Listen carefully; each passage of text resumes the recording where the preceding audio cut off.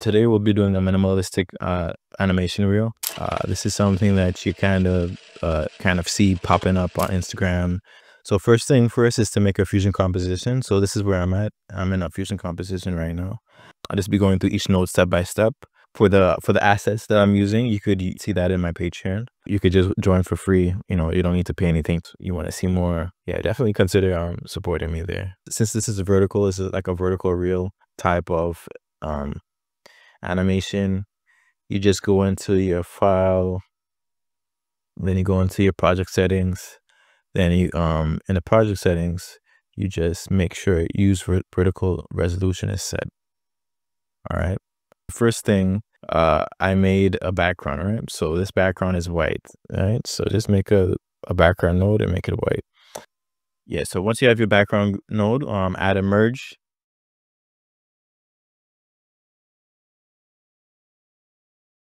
Yeah, it, it looks like a lot, but it is it's not. It's not. Trust me. It consists of the window frame, uh, the pane of of the window. So this. It consists of the character, uh, the head. So when I say the character, I mean the body, the head, and the arm. All right. So so when we when we when we're moving images like this, these type of animations, and you see the arm moving by itself and the head moving by itself, this is this is broken up into pieces. So to show you, okay, so this first one here is um is basically a mask of this lady's arm, right? So this is actually the full picture of her, but only the arm, only her arm here is masked out. So if you take out this now, you'll see that every you actually see you actually see everything. You actually see the whole thing. But it's but with the mask, you're only seeing this now. So this is the only thing that's moving. Um right here you have a transform node and this this transform node is basically what's controlling that arm. Then you add a merge. This merge is basically to add on top of this on top of this arm. So whenever you're adding something to a picture or a scene, you would use a merge. All right. So what you're adding here is basically the head now. So yeah, as I said before, is this picture is broken up into the the picture of the lady is broken up into three parts. It's the head, the arm, and the body. So the head is masked out. It's masked out with a rectangle um, so, so you can see on the side here, you could take out the mask and you could, you know, you see everything else comes back, but it's, it's just mat masked out. Um, and yeah, these are all the same picture for right? Just, you know, just, just trying to repeat that to you. These are all the same picture, but it, each part is just masked out differently. Um, this has a transform to control the head as well. All right. And um, this, yeah, then you add a next merge, and this one is adding the body. This is this is the body. Um, yeah. So you see the body right here. This is the body. Um, and then this is the head, and this is the this is the arm that's messed up. All right. So what's the? I guess the trickiest thing is just uh trying to line up everything because you have to just make sure your mask are done in a way where it, it it's it's like co cohesive. So you don't want you know we don't want to see um, any type of gaps in it. You want everything to be smooth. Um, so yeah, this is the mess. Yeah. then you have a transform again for this for for for uh not just this body though because if you just wanted a to move this body, you could put a transform right, a transform node right here. But this is to basically control everything here. So the body, the head, the arm. Uh, you're gonna add onto this again. You're adding the window frame, right? So th this is just this here, that that window, this window frame, right? All right, and that's it. That's that's really all you, you had to do for this one here. Then you have to add an X merge because now we're going to add the window print, the window pane, which is this. Um, the window pane is um, added here. Then a color a color corrector is used to basically um, up the saturation. I change some values a bit. So is you know these things is based on your taste. So however you want to do it, you could you could um you could um um fix it up. Then a transform node to control the the um the um the window pane. All right. And uh, basically what I did, I animated the pane, right? So, uh, so you see, I had an animation on keyframe 30 to bring it up a little bit, then 55, then 65. All right. Um, so that's how that went, right? Um, then this rectangle here, this rectangle is basically, um, this rectangle is basically there to keep the window frame inside this frame here. So not to go over. So if you don't have this rectangle, then um, this rectangle basically keeps the window pane from over over spilling into this window frame, right? If you don't have that rectangle there, then that's you're gonna see the window frame on top of the frame and stuff like that. So you want it to keep it contained. Um, I added a mosaic blur, so it's kind of like you're looking through frosted glass. Um, right here, and I basically added a, a I animated a mask with it, so that keeps the the blur uh within the um the window and not like outside of the window because I mean with the window pane because you know it's really only the window pane is supposed to have that effect um like you're looking through something um then after that added a transform?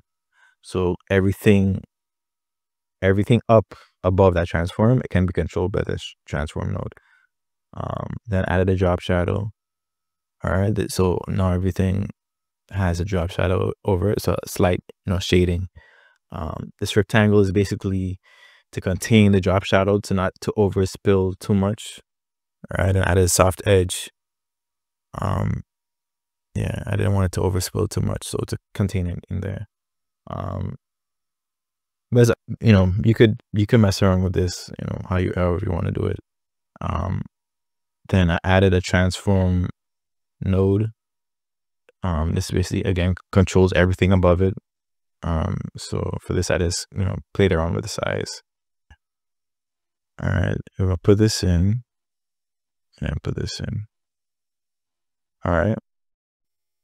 Okay so this text we add we added a, a text node and a merge right? So we so now we're done with this section. Now we're going to add a, a merge and we add in a text. So basically this text is is animated. It it's it says feeling and this is the font and um basically it's just a write on animation so at the start the write on is at zero and then wherever you want it to come to come to finish come in then you just bring it up to one. So this is feeling then this next one here is um this next one is is a text called uh, horrible. This is a, a whole different font. Um so it's basically this, we did the same thing as the previous text. Um yeah we did the same thing as the previous text but it was staggered a bit so it comes in after the feeling. Um but on top of that we also added uh um uh kind of a stroke pen to it you know this this thing right here. How i did that is basically you just come you just come in like uh right around here. You make a b spline you make a b spline. So if you look into it closely it's actually three nodes three three b nodes so one two three so you just make that shape there then uh you put it over a background, a black background. Um, the displace, you add a displace node. That's to just give it um, a little bit of kind of, if you see it, it look, looks kind of kind of jagged in a way. So kind of, you know, how a real pen is kind of not as smooth.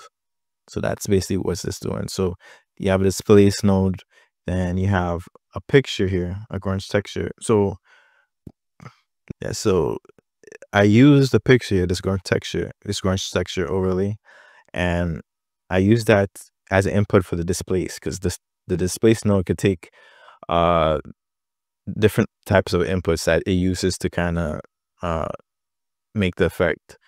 Um, usually people use like fast node, fast noise node for this um, displace um, node, but um, depending on what you what you want to do, you can use different things. So uh, this texture here is inputted into this displace and I manipulate it using the color corrector. So, um, so say, you know, if I wanted to, it to be more gritty or something, you know, I could just raise the contrast. So that's raising the contrast contrast of the picture, which is being inputted into the displace node.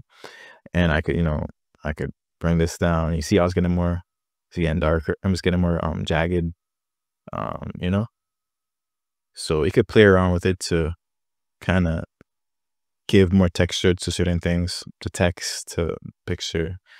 Um, uh, fast noise is uh, it, it's kind of harder to do it with fast noise. I, I um, fast noise it gives it a different type of look. Yeah, you just certain things you just have to experiment when it comes to displace. You know, you can use different pictures. This this picture you can see it in my my project assets. You could get it from that too if you want to use it too as well um text merge, right? So this merges for, you know, this over here. Then the rectangle is uh basically there to um make a transition. So you see how it comes in? That's what that rectangle is doing. It's just masking out, you know, everything there, right? So it's, it's, it's masking out what's in this merge. So this is the in this merge, this is the stroke pen. So that's what it's doing.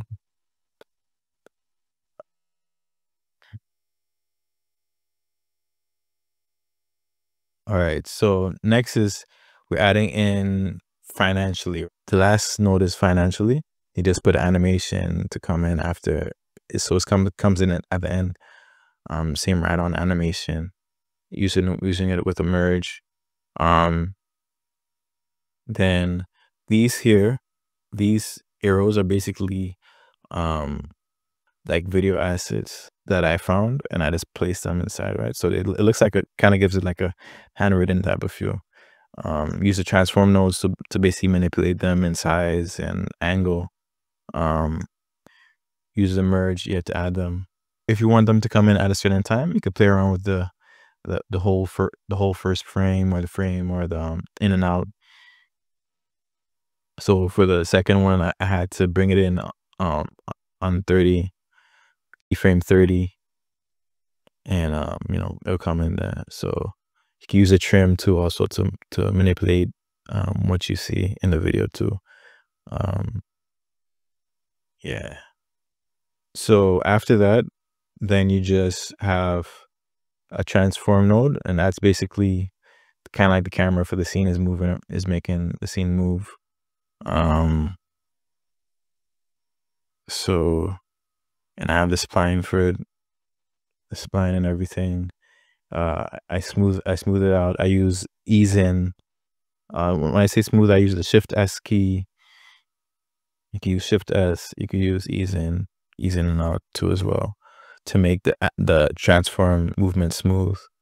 Um, so you know you you you basically move you know you basically move things around how you like it. You know you don't have to follow exactly how I'm doing here. Um, but I just had a little bouncy kind of feel to it. Um, then after that, I added a stop motion effect, so that kind of gives it a kind of a stuttery feel.